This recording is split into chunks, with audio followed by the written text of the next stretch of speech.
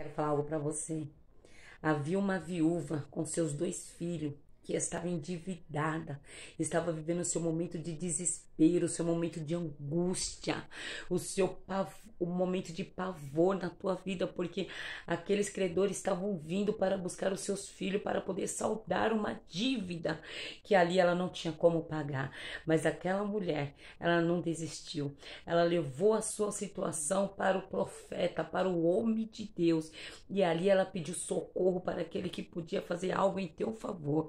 Então eu quero falar algo para você. Tá passando pelo deserto, tá passando pela aflição, tá neste momento endividada, tá pedindo socorro para a pessoa errada. Busque em Deus porque aquele que te ouvir vai te honrar.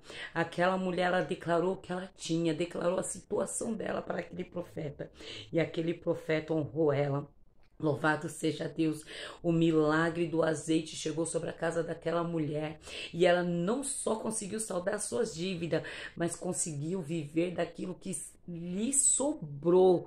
Oh, glória a Deus! O milagre de Deus não vai ser somente para saldar uma dívida, não vai ser só um escape, não. O milagre de Deus vai ser para a glória do nome dele e você viverá dias de abundâncias, dia de bênção. Então, quero declarar sobre a tua vida que esta semana você viverá o melhor de Deus sobre a tua vida. Essa semana tem providência de Deus chegando na tua vida. Essa semana você não vai morrer. Essa semana vai ser saudade das tuas dívidas, porque Deus há de preparar para você o teu milagre. O azeite está chegando sobre a tua vida, está chegando a tua casa. Aleluia.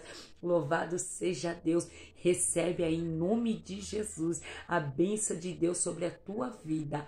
Esta semana tem providência de Deus chegando aí na tua vida. Aleluia.